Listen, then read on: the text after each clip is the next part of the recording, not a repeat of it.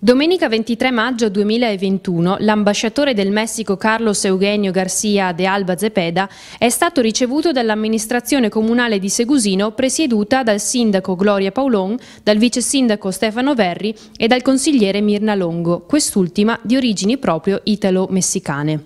La città del Messico che fa questo, questa bella rivista digitale, punto d'incontro, che ha saputo che io arrivo qua giornalista, quindi è informato, non so chi glielo ha detto, ma lo sapeva.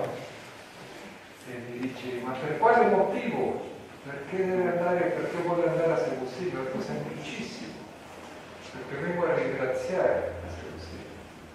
Perché vengo a ringraziare le autorità, la società e i cittadini di Segusino di questo grande regalo storico che avete